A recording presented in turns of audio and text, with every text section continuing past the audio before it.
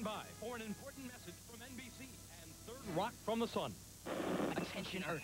We have been invaded by terrible creatures disguised as beautiful women. They're evil, but they're beautiful. That's what makes them so dangerous. It's terrible. I mean, at first, it's wonderful, but it becomes terrible. You've got to warn everybody. Go. Warn people. I'll stay here. Keep an eye on the wind. A special one-hour Third Rock from the Sun with Cindy Crawford Super Bowl on NBC. NBC is proud to announce that the award-winning